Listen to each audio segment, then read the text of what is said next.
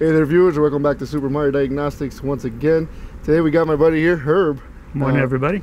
Who's also my coworker. And he's gonna run us down on how to access the steering lock on Mercedes. We get this I get this question a lot actually. And um, in in most cases, a lot of people will remove the steering column completely and do it on the bench. But there's a way around that and uh, I'll let Herb take it away. Well, I don't like removing the column. It's a lot of stuff to go on in there and take it all out and out of the car and unplugging and plugging stuff back in. So I like to cheat a little bit. So we have two cars actually here. We have one car that has a manual column and we have one car that has an electric column. Now the manual car column is much easier to do and I wish all the cars were like that. Alrighty guys, we sort of cheated. We didn't know we were going to make this video. Um, I've already removed the steering lock on this car. This trim is a little different than most. Um, it can be a little daunting and you can see over here in the corner that this trim has already been broken. So this was pre-done. I didn't do it even though I am a mauler, but it wasn't me. so we take a wedge under here and we remove this trim. We get it up out of the way. Now on the AC unit, you're gonna have a plug that's plugged in there. Just unplug that and get that out of the way. And then you're gonna wanna remove this lower trim and this slides out this way to you and somebody has already broken the clip off the back of this so it made it much easier for me to remove it. And this is the trim ring around this. You're going to pop this out and you're going to pull this forward over the column. Now you say oh the ignition switch doesn't move but the column will move forward. It's manual underneath here to release. You're going to pull the column all the way out to you and you're going to put it all the way in the up position because the column is bolted to a frame in there. So it has four bolts. You're going to unbolt that. I put in two long guide bolts and the bolts that are closest to you underneath the column so it keeps it sort of in a relative position. So down in the hole, unfortunately, I've already moved the steering lock, but down in there is where the steering lock sits. And I keep it bolted in to give it more rigidity so I can drill it out. We're going to go to the bench and I'm going to show you where I drilled out this particular lock and removed it. And then from here we're going to go to the other vehicle with the much more difficult column which is electric and we're going to drill that one out for you guys and remove it. Some of the tools I use number two Phillips and a big screwdriver so you can reach in there and you can manipulate some things. We'll show that in a minute. Your 12 Torx 12 Torx on a swivel. Some longer bolts that I stick in there on the end of the shaft to hang it down so I can leave the column sort of where it is. Don't have to move it too much. A uh, couple different drill bits. I usually don't use these, but this is just in case because you never know what's going to happen. You may need a little bigger hole. Um, I've had this little contraption made from one of these drill bits, and I put a little end on it to hold the drill bit to make everything slim and a little dum-dum to hold it in place. And this will be the drill bit for the final hole that I use. And this I'll be sticking in one of my screwdrivers and be manipulating a little wheel in there. So let's go over to the locks. Now this is the lock out of the car that's out there with the manual. And there's the hole I drilled. Move the wheel to release it. So what you do is the steering lock is facing you in this direction and you've drilled your hole.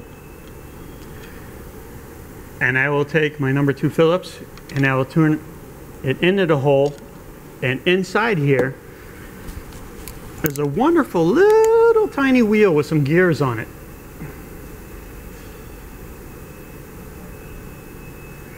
So those gears and you want to take your pinion shaft on your ring and get in there and lock it.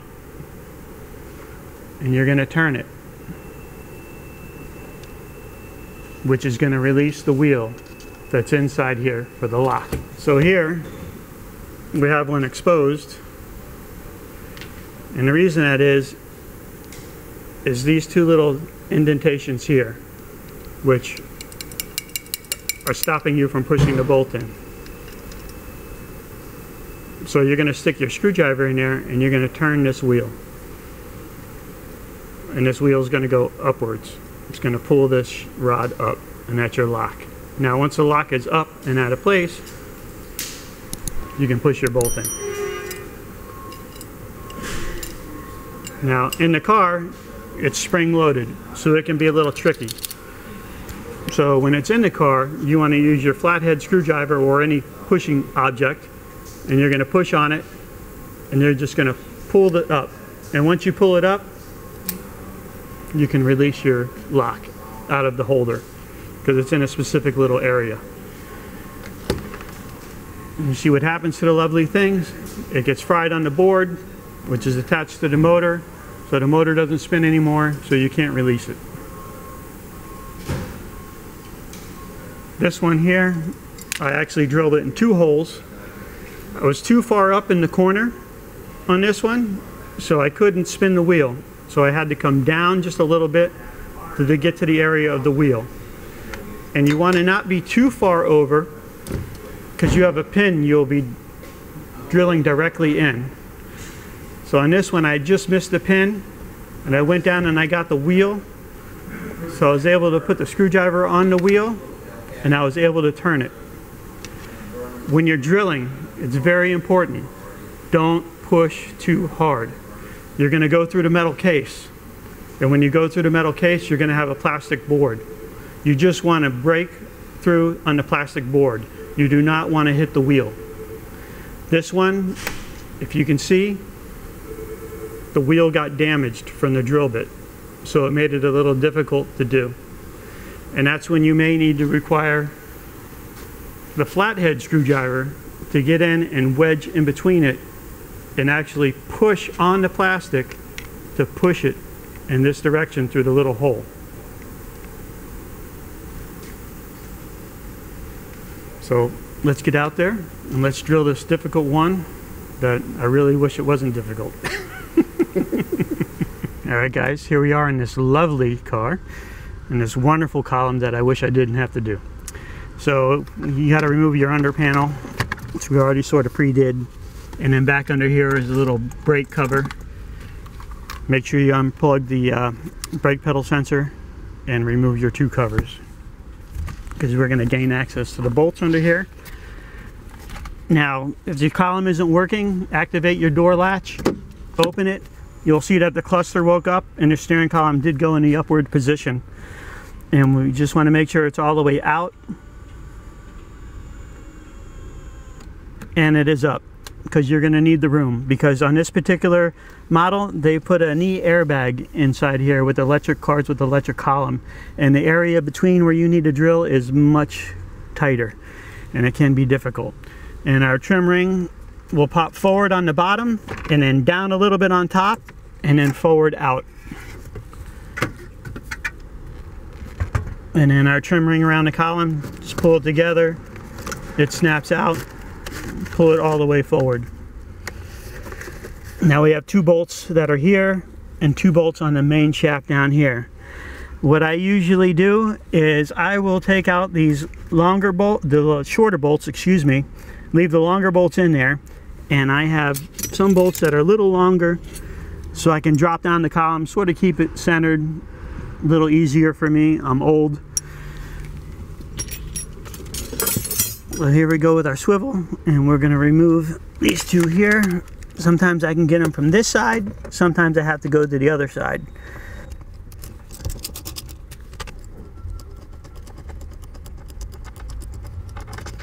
And there's one.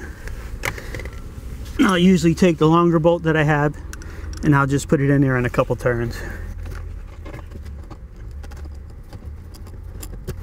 We'll move over to the other side. Remember there are wires in here. Be mindful of your wires.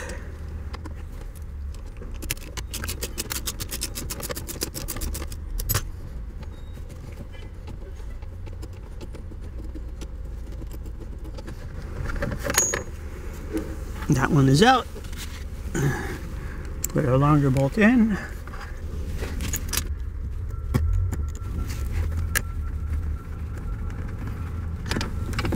Ready. Now we'll take out our other two. 12 Torx.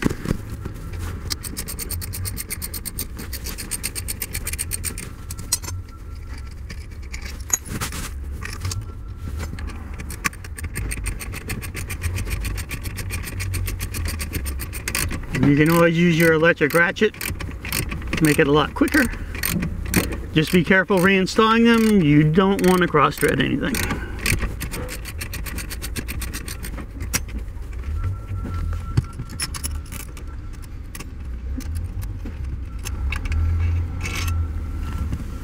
All right, now our column is loose. And as you can see, the hole is much smaller here than it is on the other one. And we're gonna need to angle the column a little get, bit to get a good drill hole on this one. I really hate doing it on this one. It can be a pain. Sometimes I do have to remove the steering wheel. So we'll see what we can do.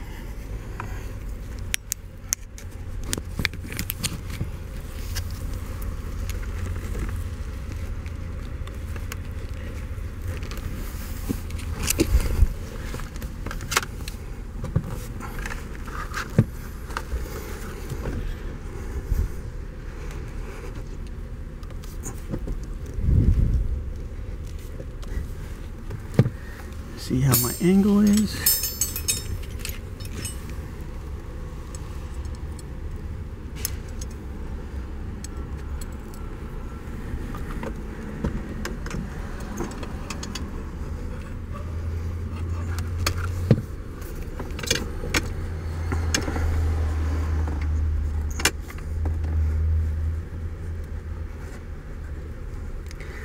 Yeah, I don't like the angle, so I'm gonna remove the steering wheel because I don't want to damage any of the surface on this. All right, so we got a couple more tools because this one's gonna be a little bit of a pain. And like I said, these electric column ones are more of a pain. The other one is much more easy. There's a lot more room in there and I don't need to do a lot of these things. Um, so we got a couple variable pieces of wood here so we can stick in there to try to give us some space in there to drill to keep it pushed away from the top part of the column to the lower part of the column to make access to the lock. Some tape, a little protective, and a 30 Torx and a 10 Allen. And we're going to remove the airbag and remove the steering wheel. We don't want to damage it with the drill.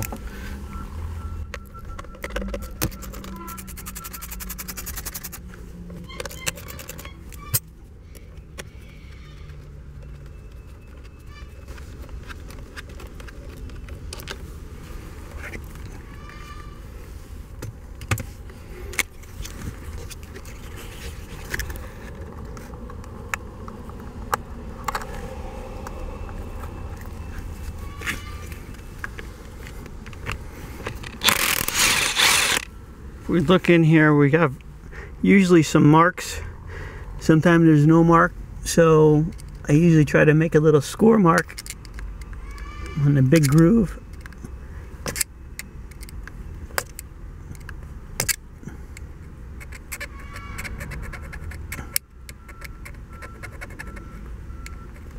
So there's the big groove the mark and I don't know if you can see it but there's a little mark in there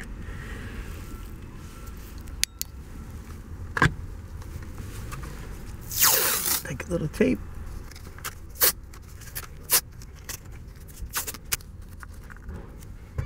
So I'm going to take one of these variable pieces of wood here and I'm going to try to jam it in there just to pull the back of the column down a little bit so I can get a better angle at the lock. And I'm going to be working through a little hole in here. Like I said, this is the most difficult one, these electrical columned cars.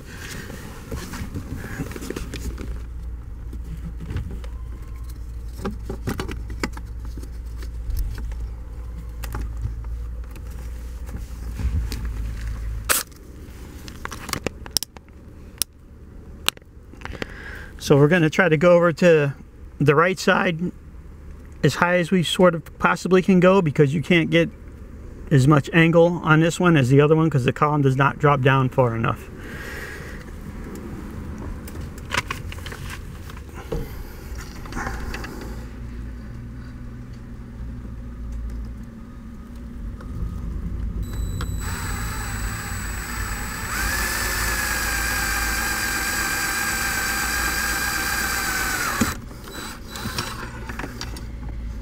I think we'll be able to get the big bit on that one.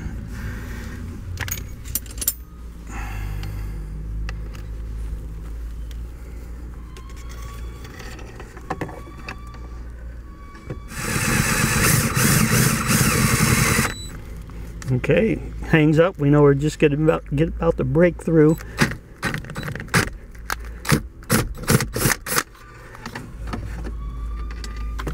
Let's take a little peek. How far did we go through?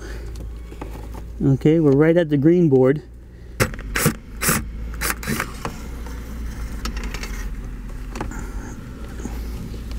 Oh, and it looks like I can see part of the little white wheel in there. Let's see if we get lucky and everything goes good.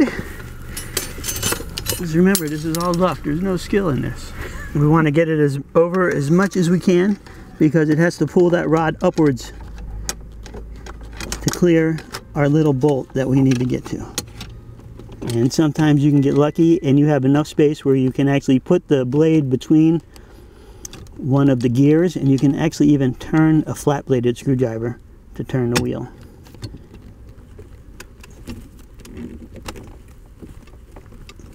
I think that might be all the way over. I think I'm in the gear and you see how it is, I think, completely done.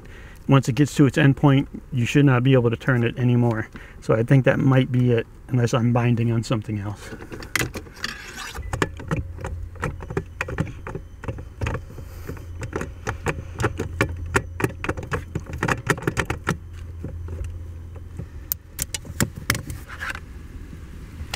So there's our steering lock is out. One hole, one man, one lock. All right guys, so you obviously you don't want to drill this if it's unlocked because you can obviously remove the bolt and take it out of the column with just dropping the column and slide this thing out. So the customer wanted a new lock, so we drilled it out, removed the lock, we're putting a new lock in it. Now, if it was in the unlocked position, you could possibly get away without removing it, but if it's unlocked, you can remove it. But some people, I have seen it in there with an emulator installed. This is driven off of a worm gear, off of the side of this. So if it's unplugged and no power is going to it and it's in the unlocked position, the chance of it locking itself again is very, very remote. So you could just, in sense, leave it in there, unplug it, and put your emulator in if you would like. But there could be safety reasons. Your steering doesn't lock anymore. If you have inspections that require a steering lock, of course it's going to fail. And emulators are not 100%, they are also known to fail. So never rule out an emulator. And even though you may hear just doesn't mean it does not have an emulator. and I have seen steering locks just zip tied to the side of the column where somebody did not reinstall it. So the choice is up to you. Here's the one we just took out. Here's the one out of our other car. Both of them out. There you go. So in a nutshell, removing the lock without removing the column. I hope this helps some guys. Um, it is a TPR part, so you do have to get authorization from Mercedes to replace this. And you need a programming key to put in the new lock. And last but not least, if you guys have any doubts or whatnot, you can come visit us. We're Autobahn Performance. We're down here in Fort Lauderdale. Just look us up. We're here to help. That's all, folks. No, uh, that about wraps it up. I hope you all enjoyed this video. Uh, leave uh, a comment in the comment section. See what you think about Herb. Maybe we'll bring him back more often, right? And uh, thanks, Herb, for doing this. I really You're appreciate welcome. it. Super Mario, it was a pleasure. and everybody out there, I hope you have fun and enjoy. I'll catch y'all next time. Okay, guys, you running? Yeah. Okay. okay, guys. Um, we did this before in the beginning, but we didn't show you this. We did check the fuses to the EIS and the steering lock, but since we've been messing around with it, you never know what could happen. So you want to double check it before you install the new steering lock. So it's a C-Class 204 chassis, and usually it's going to be fuse 19 and 27. Always look it up just to make sure.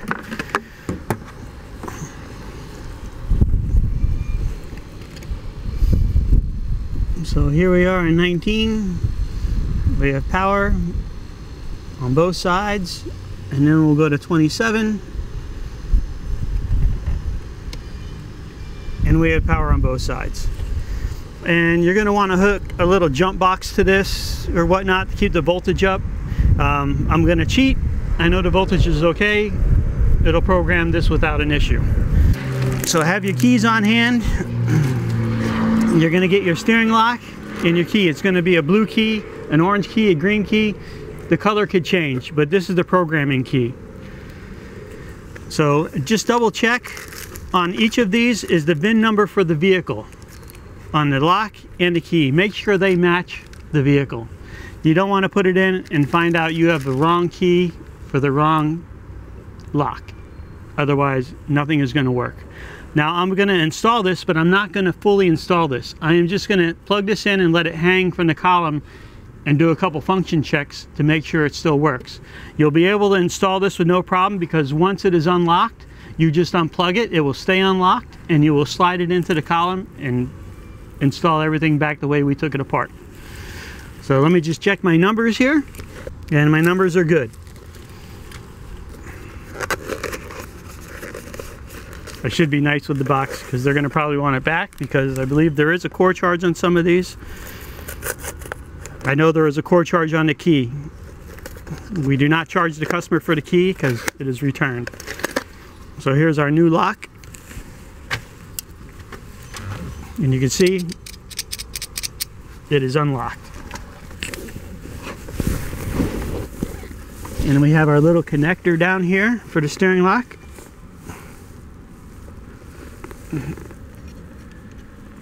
Plug it in. We have our programming key but before I stick the key in I want to make the car a little active. I want to wake up the cluster and wake up the CAN.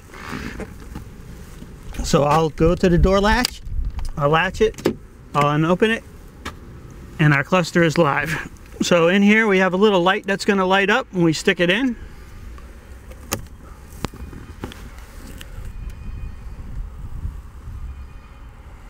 and it's out I always just turn it for giggles. You don't have to. Remove it. I don't know if you've heard the steering lock. But now it is locked.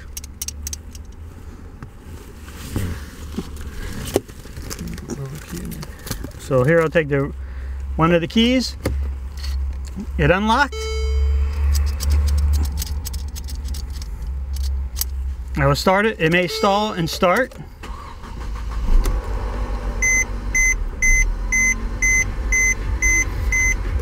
And it's learning the key.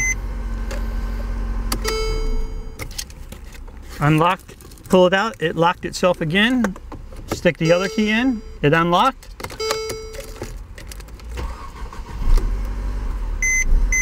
See how it wanted to stall? The key is learning itself, it's learning its itself to the ME transmission, anything it needs to communicate to. Now if I undo it, it's locked again. So I'll stick it in, I'll unlock the key, well unlock the lock, excuse me. We'll unplug it. And now it is still unlocked and I can install it in the column and then put it back together. The other thing that is important is go with your computer and check and make sure the VIN is written to the steering lock and the EIS. If the VIN is not written to it, you must write it. You could have problems in the future by not writing the VIN to the EIS and the lock. Hopefully it'll automatically do it with the programming key and you will have nothing to do. And then you'll clear all your codes and you should be good to go.